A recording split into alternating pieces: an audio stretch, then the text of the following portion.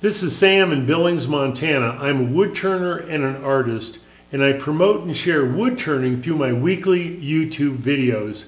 I'm also a robust lathe dealer, so if you're interested in the finest American made lathe, contact me and I'll answer any of your questions. So thank you. All right, time for another Notes from the Turning Shop.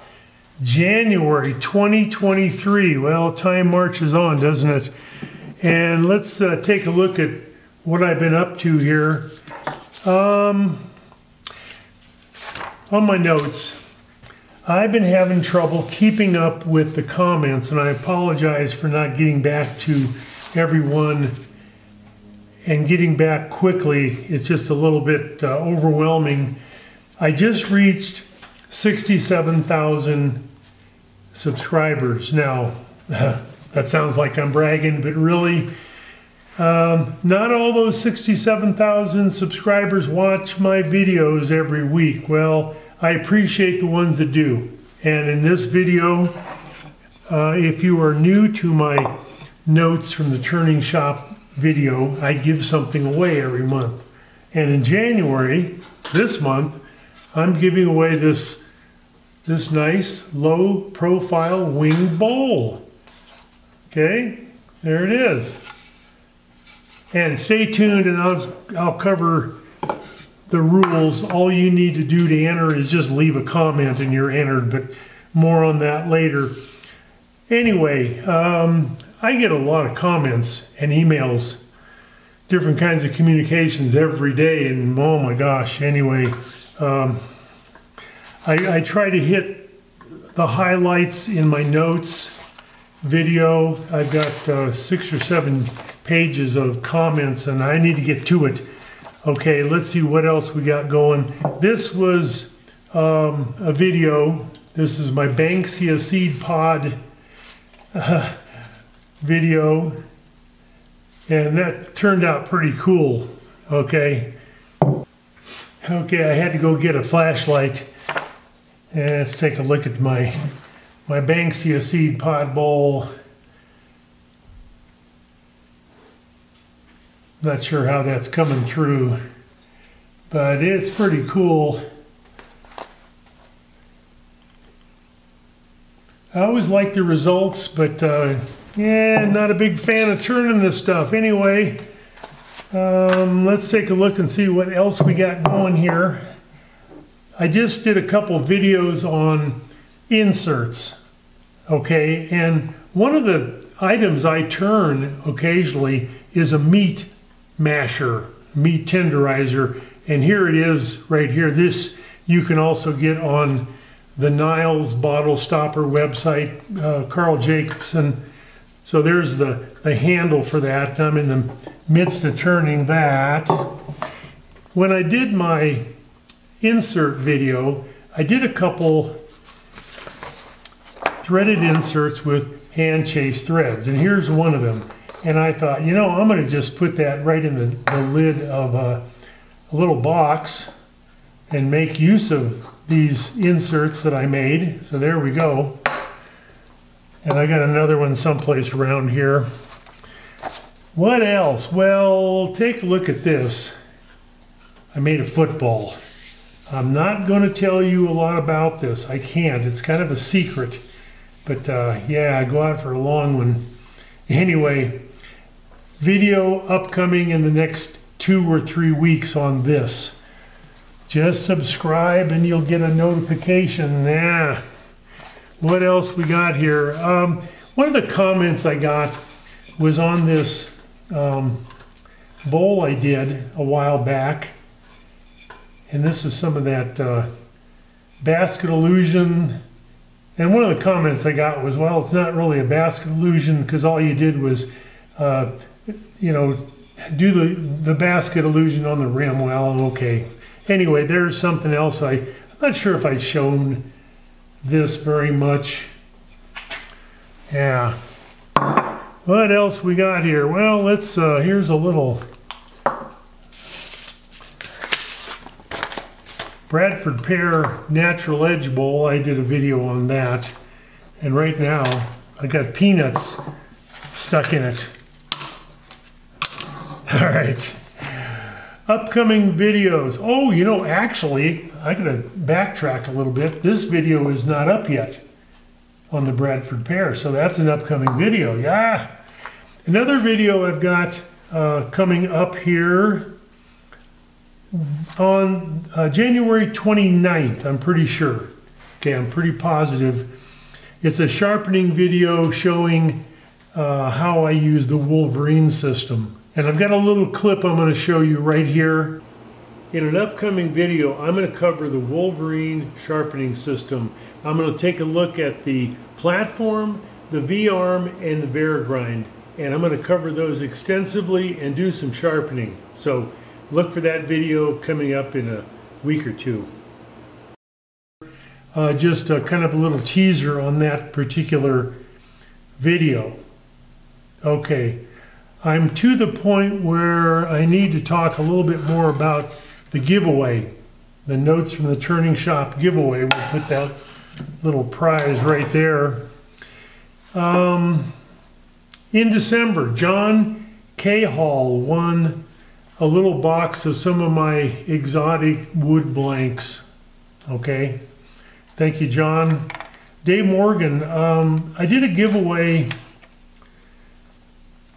in which, and I can't remember which video, but anyway, Dave Morgan won uh, a set of Tom Ackley's uh, buffing paste and polishing compound. So congratulations, Dave, and Dave is an old friend of mine he, he well deserves uh, such a gift. Uh, Tom Ackley and Annette, okay, they're in this together and they do a fantastic job and provide a great product.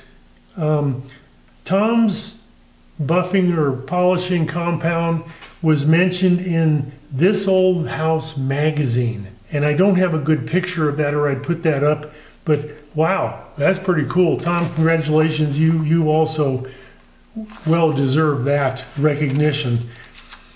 Um, I'll probably get back to some of this stuff here. Uh, one more thing about the, the notes giveaway.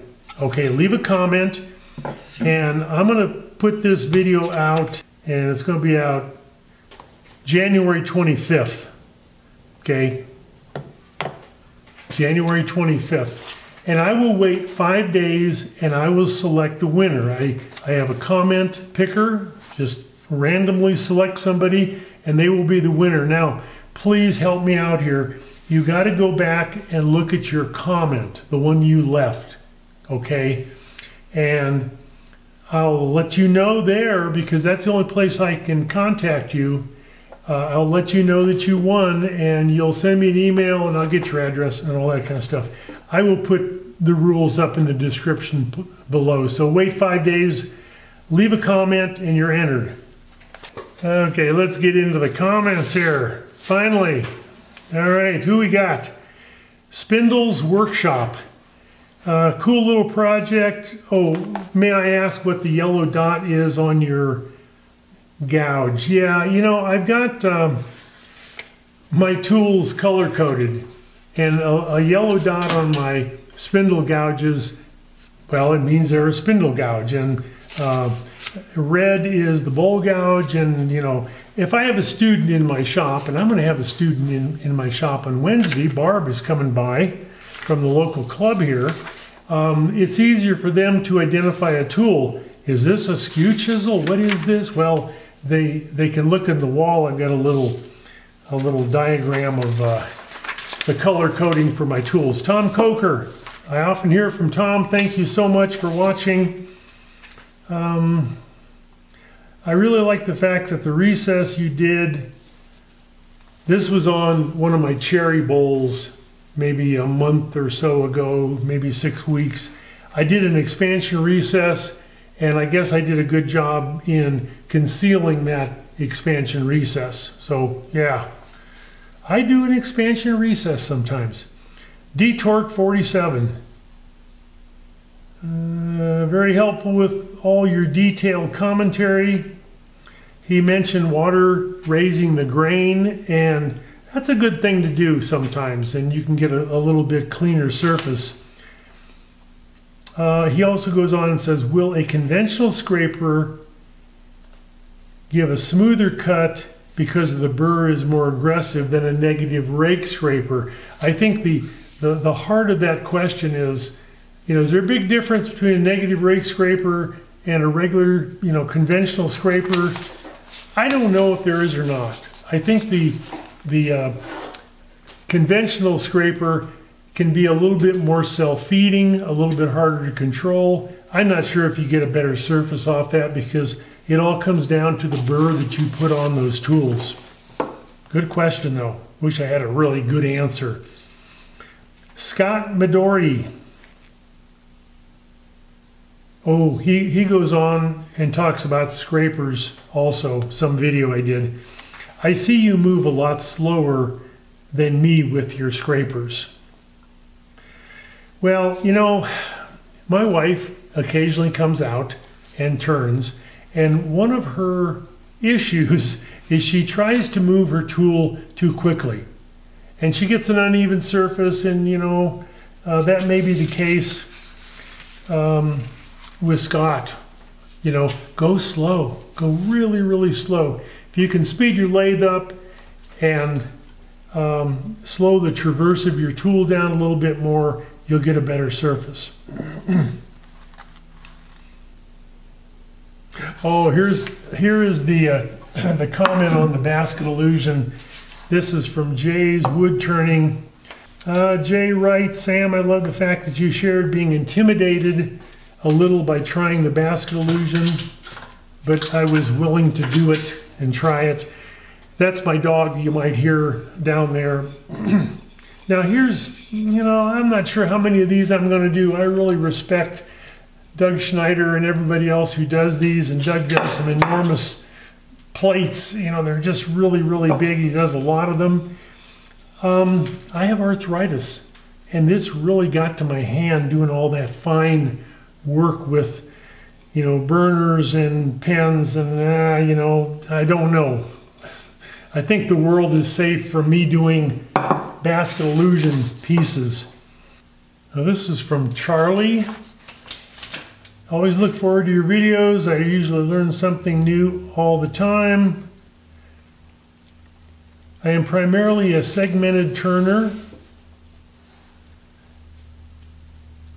Anyway, I have no luck using scrapers. I have turned all of mine into negative rake scrapers and now I love them. Now, you know, I can understand that. I could understand also me using nothing but a negative rake scraper. They're awesome. Um, sometimes when I want to take off more wood more quickly, I'll use a conventional scraper and just kind of kind of get down to the surface I, I need to go to. But uh, yeah, there's nothing wrong with negative rake scrapers. They're safe, they're good, they're they probably leave as good a finish as any tool, providing you have that burr on there.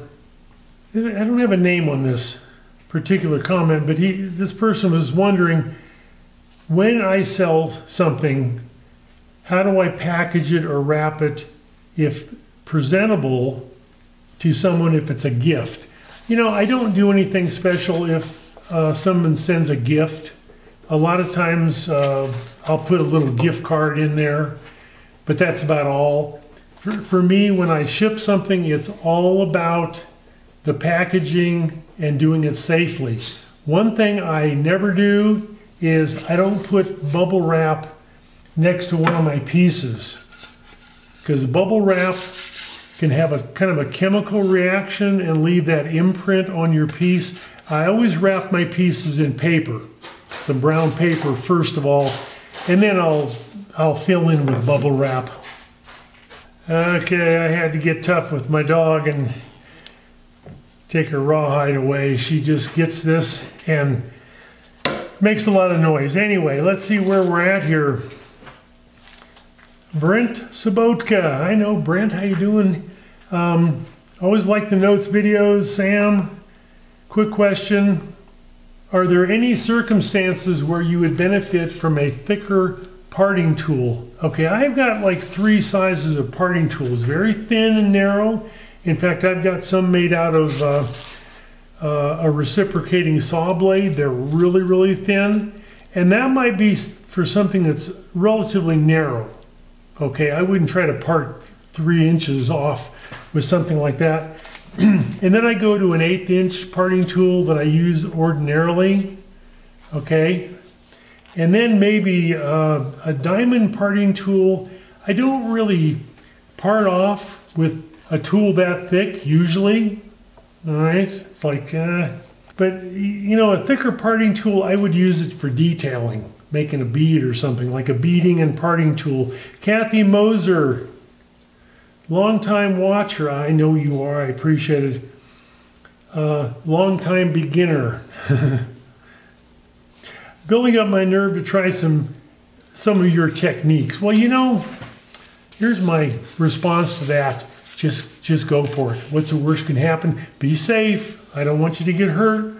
But uh, if you've never turned um, a little natural edge piece like this, you know, uh, they can be a little bit difficult, maybe require a little bit more skill.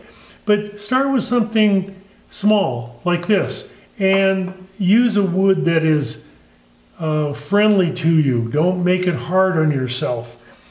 Like this bowl here, this can be a little bit intimidating. That's spinning around like a propeller. This is ash. You know, you don't want to get your finger stuck in there.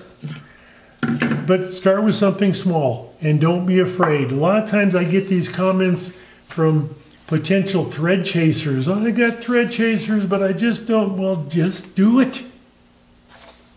Work for Nike. Can I say that? Jay, and I'm going to butcher the name LeJoy. LeJoy. Oh, Jay. I've been using Mahoney's walnut oil for a while and recently picked up some tried and true Danish oil.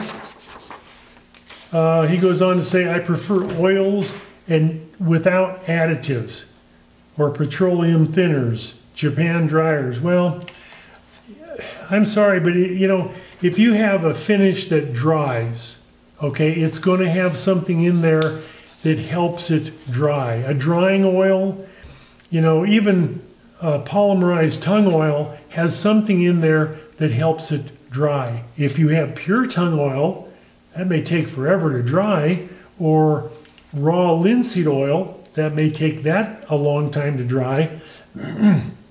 Some of those don't have a dryer in them, but most of them do, you know.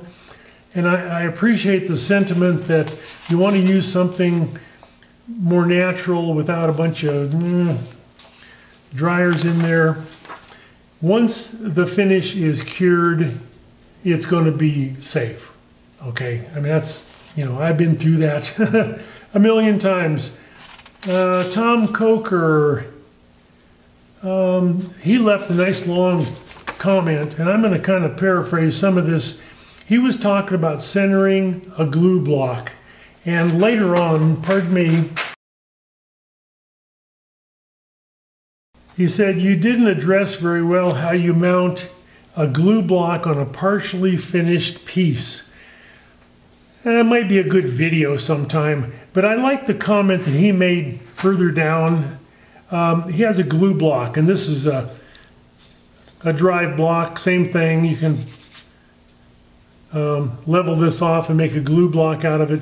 But when you have a, a piece that's partially finished, let's just use this right here. How do we how do we center that glue block on this piece right here? Well, he drills a hole through the center of it.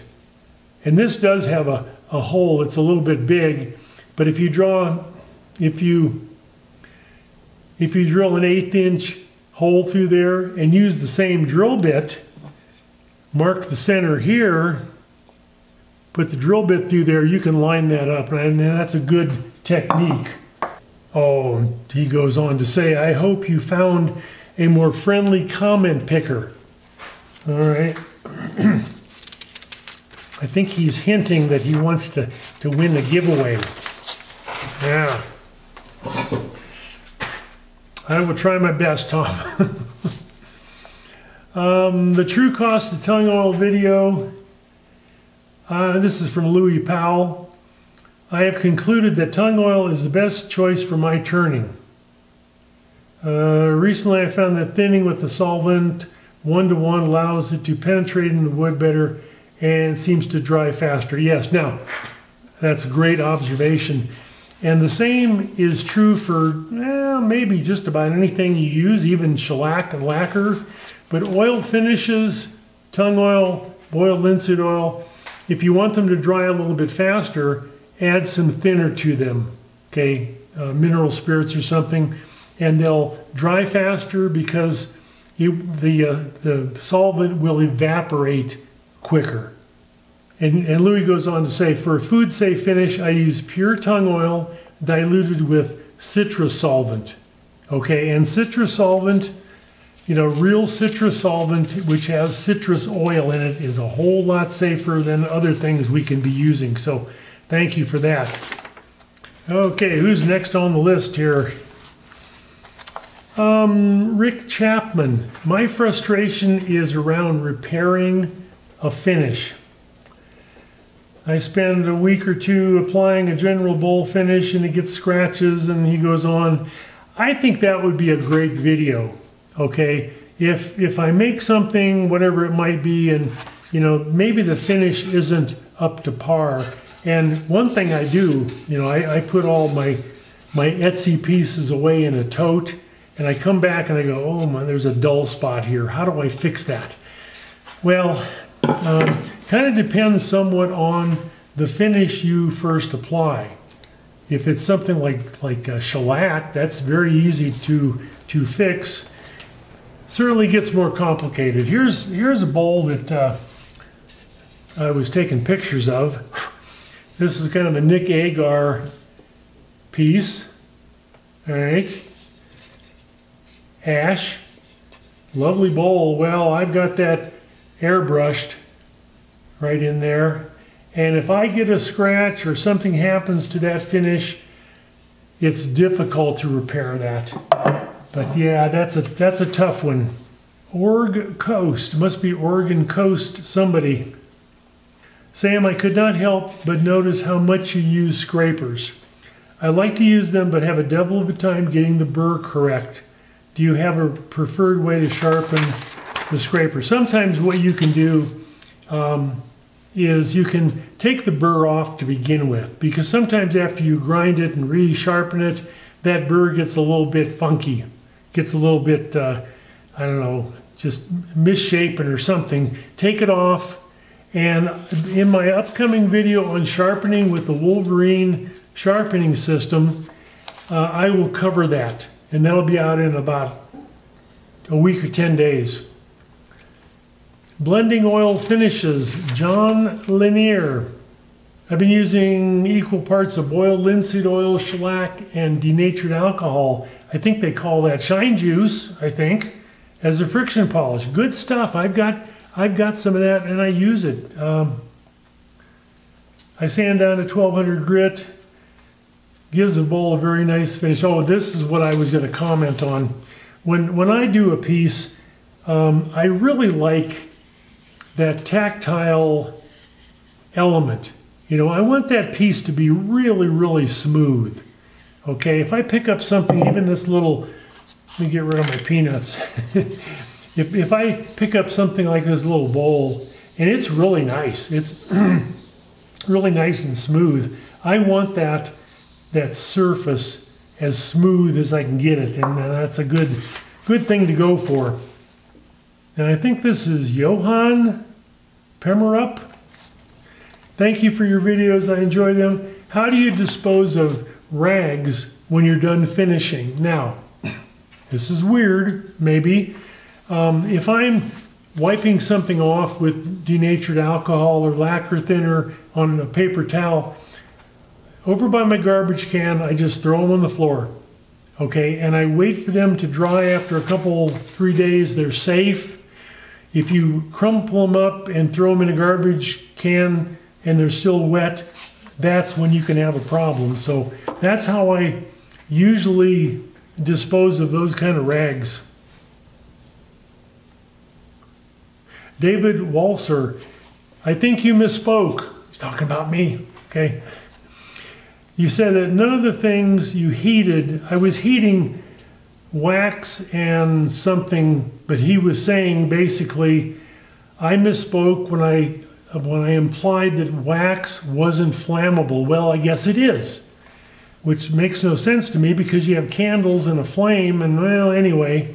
Um, and I went did some research, and wax is flammable at about 400 degrees.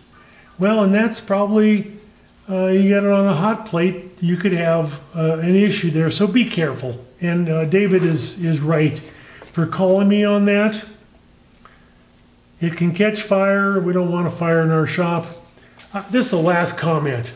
Okay, I'm gonna I'm gonna leave this on an up note. This is from Lefty McShay. This is from Lefty McShay right there, little thumbs up. And Lefty says, "It ain't all bowls and boxes." That's right. Now I'm not sure what he was talking about exactly, but um, he left a comment on a video and he said, It ain't all bowls and boxes. Very, very true. There's a lot of other things we can be turning.